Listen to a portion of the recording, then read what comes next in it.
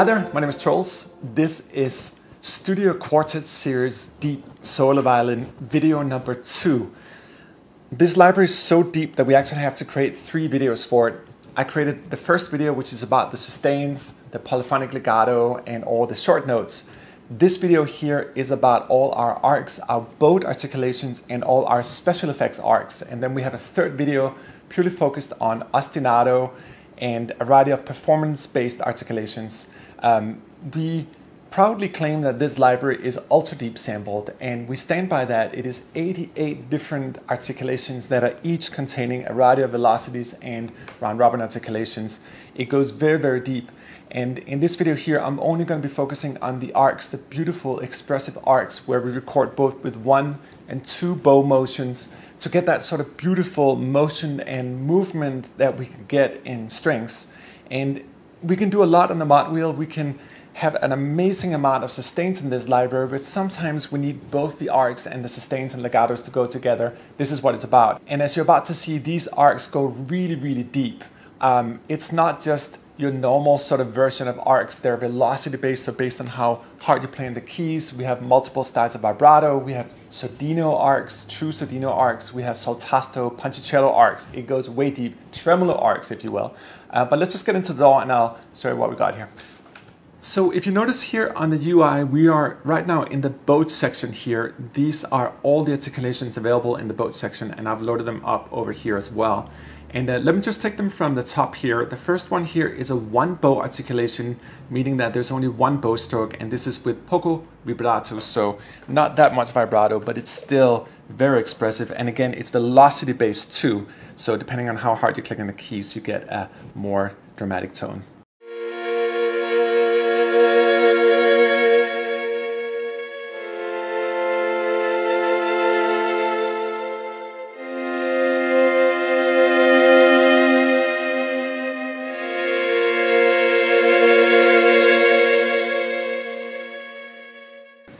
So you can hear it's fluent on the keys.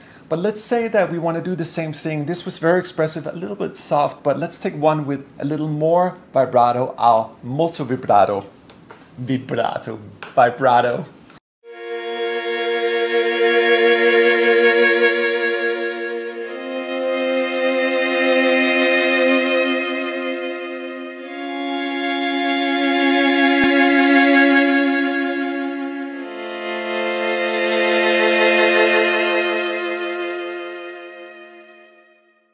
That was with one bow stroke, so you could control the amount of vibrato. Let's take it a step further and do two bow strokes so you get the natural up-down motion on the arc. Again, with poco vibrato or molto vibrato as well. Um, you can choose whatever you want.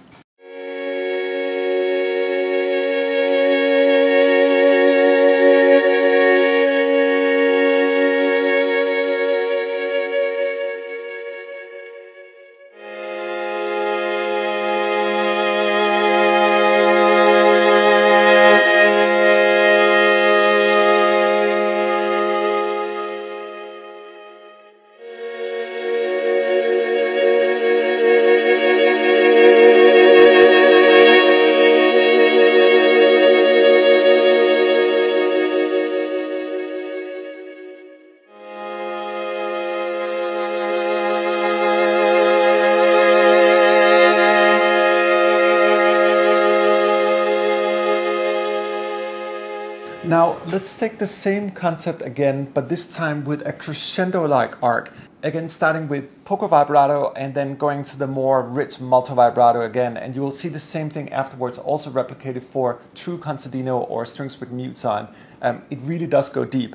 Um, what you probably can't see here is that it's also velocity based. Um, I'll try to play that a little more exaggeratedly um, later on in the video as well. Um, it's beautiful to have the arcs, but it's especially good to have them um, with velocity layering of different dynamics. It really makes them expressive within one patch alone.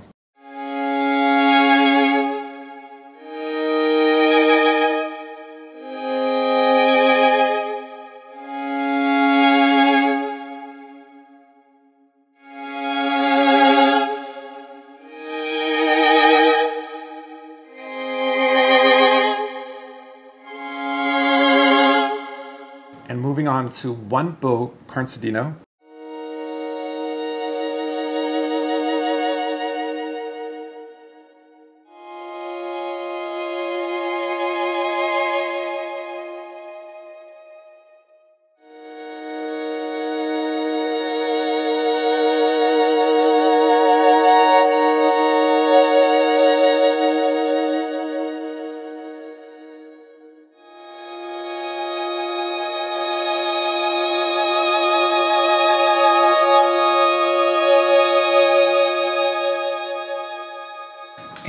Can hear, it just has emotions on the keys. I'm just holding down some keys and I can feel the emotion, just like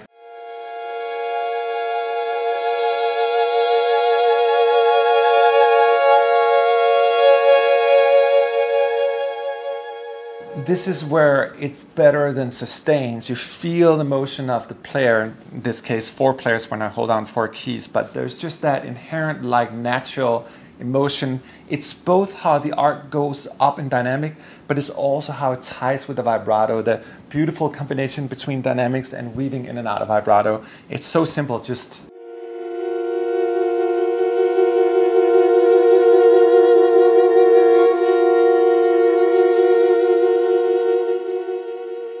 you just feel it. Um, let me also do the crescendo here on the Sordino.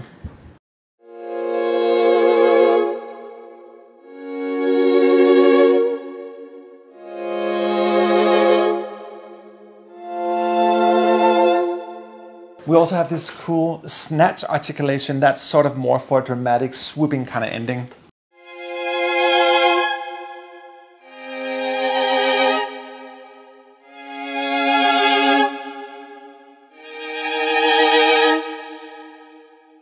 But as I mentioned, these are, I would call them traditional arcs. You can control the amount of vibrato, the amount of bow strokes, whether you want Sordino or not Sordino, whether you want crescendo or snatch or all these things. But we went back and did the same thing again, but this time with more experimental or sort of alternative type of articulations like sul tasto or ponticello. Um, let me show you right here. These are super cool. They're a little more sound effectsy, which is why we call them bowed effects, uh, but they follow the same idea of an arc um, but with a more experimental sound, if you will. All right, so let's get into the bowed effects articulation. You can see we have 15 different types of articulations. I'm gonna play some of them here, and then I'll play a few more over here. Let's start here with the bow sul tasto.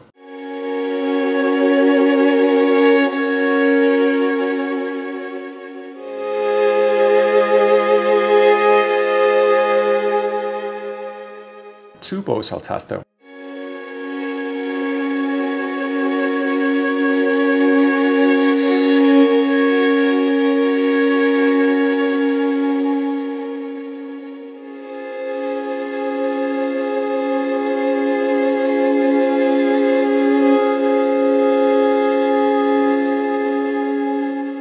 Crescendo.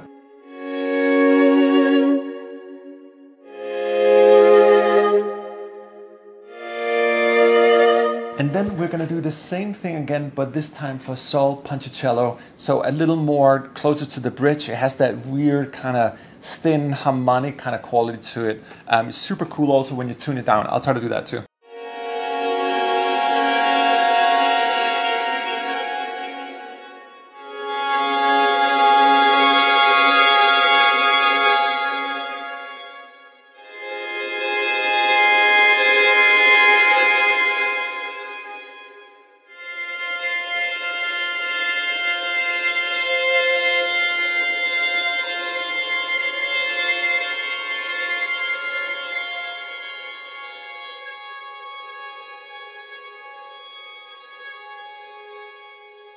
And crescendos.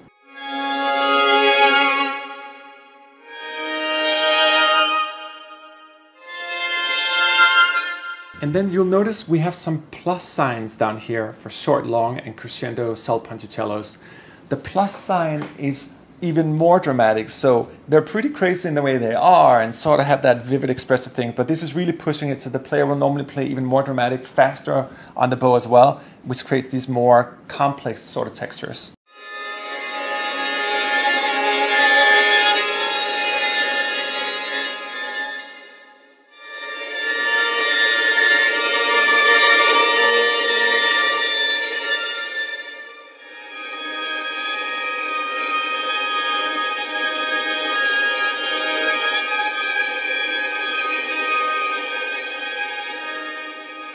They're fun to tune down as well. Like you almost get into a sort of Jóhann Jóhannsson kind of.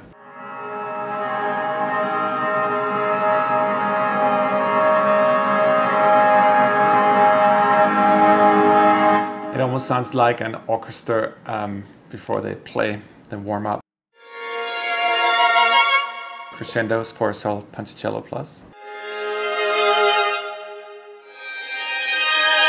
Now, that's a part of it, but we actually have more. Um, if you notice over here, we have 15. We made it down to Sul Ponticello Plus. Um, we got six more articulations here. I actually have them loaded right in here.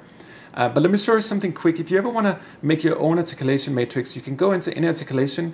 You just click on it here. They automatically get assigned to your key switch. And this is how fast you can build your own um, articulation matrix. So it's really fast to use the 88 different articulations.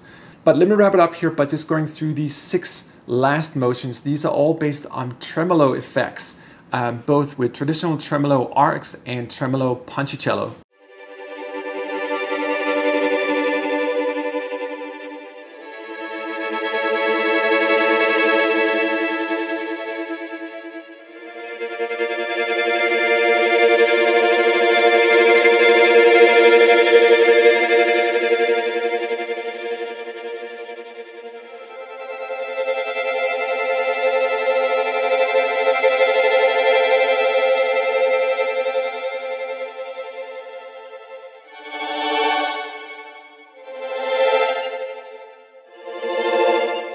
We also have one, two, and crescendo bows for tremolo ponticello. Again, mad ultra deep sampling.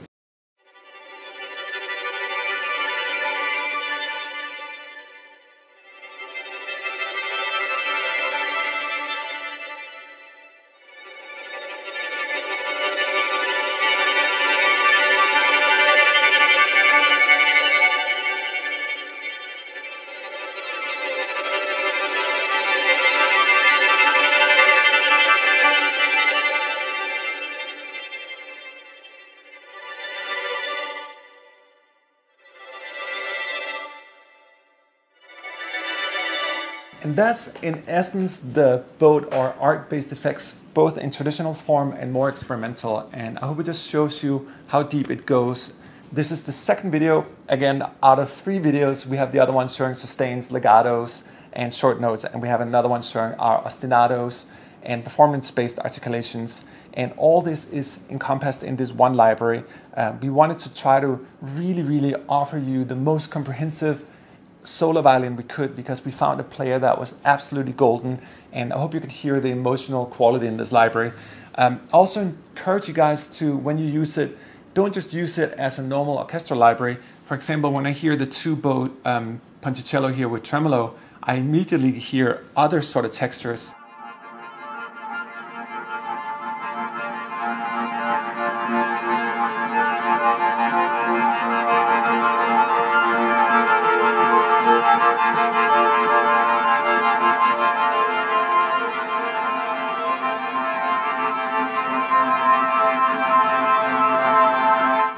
who's to say that we can't push the libraries and make them into something more? Uh, one of the beautiful things about having 88 articulations available is not only can you do completely realistic renditions of a solo violin and with true motions in all the samples, but you can also experiment and then break it apart and try new things. Sometimes I feel when I use libraries, I can't get the emotion out I want because there is no emotion in the samples. And for me, this one just speaks to me just hold down the keys and it does it. And I feel it. Um, I actually found myself sort of waving around and being all like artsy uh, when I play this because it just, it touches me. It moves something in the heart. So I hope you feel the same. I'll see you in the next one.